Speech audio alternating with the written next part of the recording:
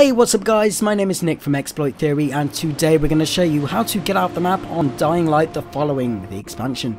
So you want to come over to where I'm shown on the map right here. It's just on the beach and there should be some caves over here where Mr. Stalker is waiting for me.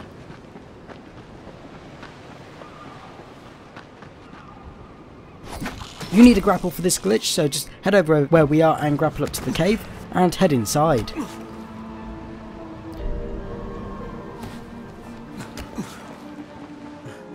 Now you want to follow the cave to the left and jump into the water and just follow the guide rope in the water here. I'm going to speed it up a little bit because it takes a little while to get past this bit.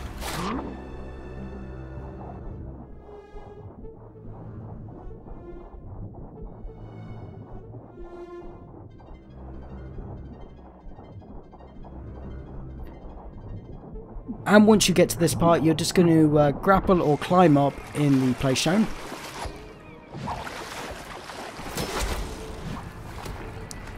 From here, we're going to grapple over to the next side. And we're going to look up into the hole in the roof and we're going to use our grapple to grapple where shown. Now if you press the B button just as you get on top of the rock, it should make you land on top of the rock just right.